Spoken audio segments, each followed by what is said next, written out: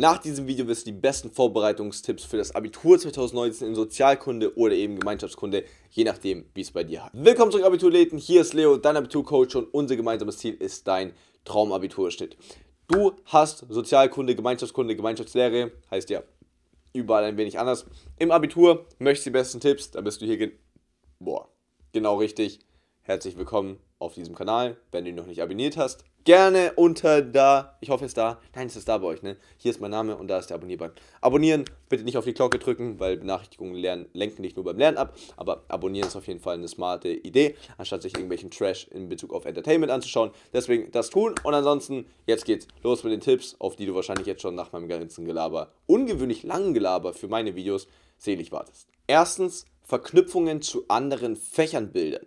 Das spielt in keinem Fach so eine große Rolle wie in Sozialkunde. Denn überleg mal, in was, in was für was für Fächer greift Sozialkunde denn alles über?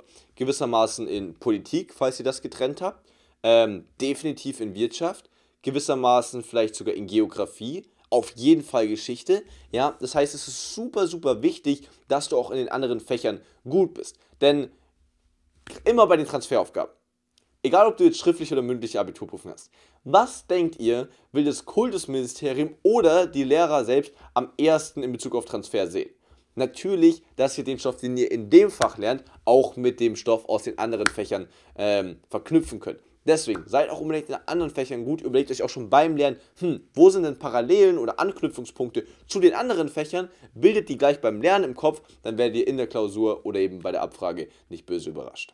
Zweitens, alles auf jetzt beziehen.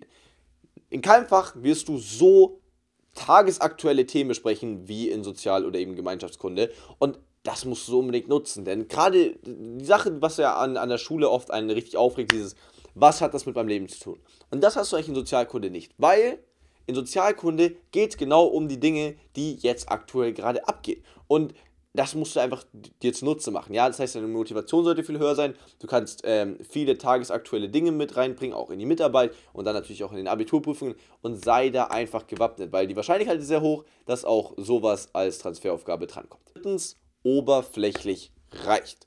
Und damit meine ich das Lernen. Ja, tatsächlich. Das ist natürlich extrem mit Vorsicht zu genießen, weil natürlich hast du auch in Sozialkunde drei Anforderungsbereiche und die gehen halt eben immer tiefer. Das heißt, du solltest es schon tiefer verstehen, aber wenn bei irgendeinem Fach ich sagen würde, dass man es nicht so tief können muss, dann in Sozialkunde. Einfach in, aus dem Grund, weil ich meine, der Bundestag, wie der aufgebaut ist, ja, da reicht es eigentlich zu wissen, wie er aufgebaut ist und warum exakt der so aufgebaut ist, wird eher weniger besprochen. Das heißt, wenn du in irgendeinem Fach eher oberflächlich lernst, dann in Sozialkunde. Nichtsdestotrotz empfiehlt dir natürlich trotzdem, möglichst tief in die Materie einzusteigen, wenn du auf die richtig hohen Punkte zahlen willst. Viertens, da werden wir auch schon beim Tiefer gehen, unbedingt das Buch lesen. Ja, klar, wenn du einfach nur möglichst effizient dich vorbereiten willst und nicht in die richtig hohen Punktebereiche gehen willst, dann lese einfach nur die Hefteinträge durch. Ist definitiv das ähm, effizienteste. Wenn du aber das Maximum rausholen möchtest, lese auch unbedingt das Buch, weil gerade im Buch stehen noch mal ein paar extra Informationen, die du vor allem in der mündlichen Abiturprüfung immer super gut anbringen kannst